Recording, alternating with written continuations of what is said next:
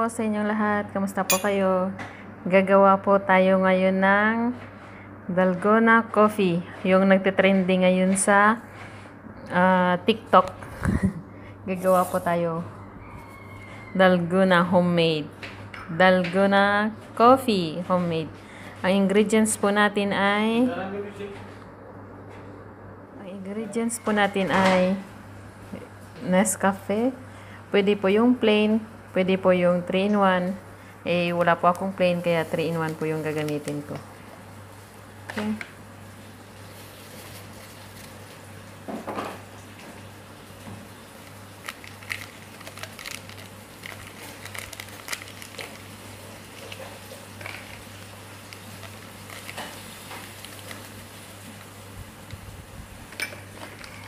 Then, sugar. Ice cubes, ah, fresh milk. Pwede po powdered milk. Okay? Kasi po wala po akong powdered milk kaya ito po yung gagamitin ko. Okay? So, lalagyan po natin ito ng sugar.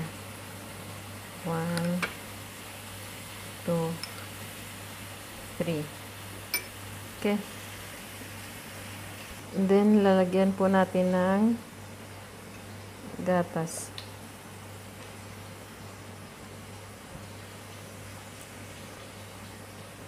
Two spoon.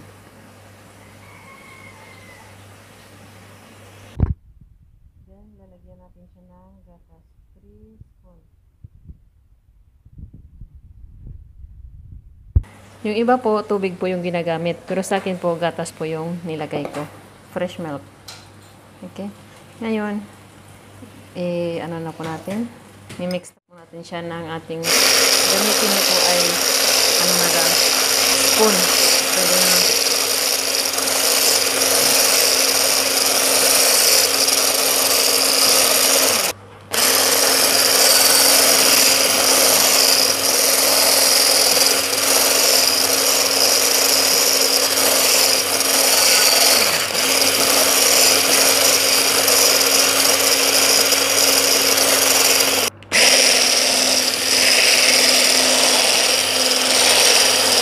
Po, medyo foamy na po siya.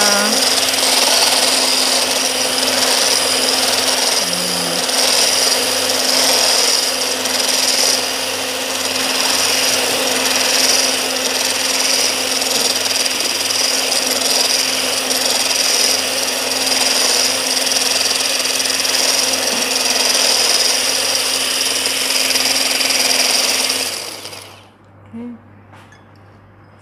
Po siya. So, gagawin po natin, eh, maglalagay po tayo ng yellow sa bawat baso. Tatlo po, kasi tatlo po kami. Kaya, tatlo. Maglalagay po tayo ng yellow.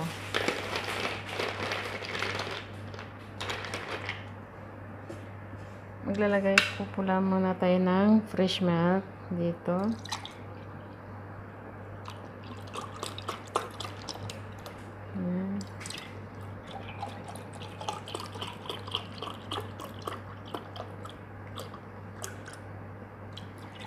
Yung tamis po, depende po sa inyo kung lalagyan nyo po ng medyo maraming asukal. Nasa sa inyo po yung tamis. Okay. Lagyan natin siya ng sugar. Konti lang po kasi may sugar na po siya kanina.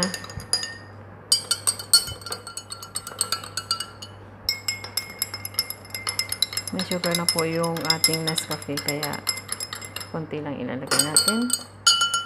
So now, lalagyan natin ng yellow. Ayan.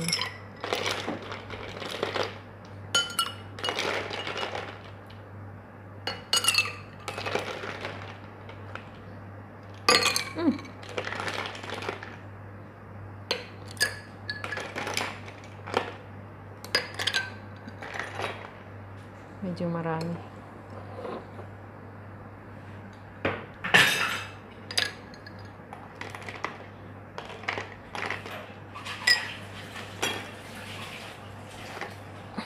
Ilalagay na po natin ito. Ayan.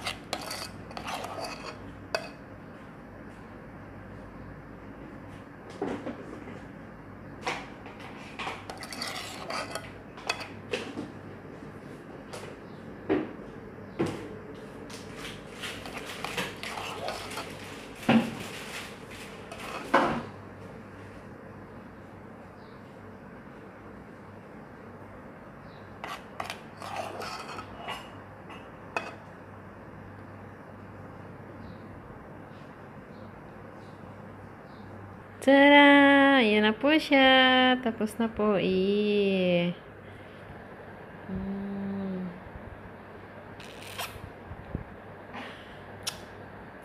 Yummy! Yala, cheers! Eh. Imsi? Eh. Eh. Yala, tara. Mm. Ah, yummy! jadi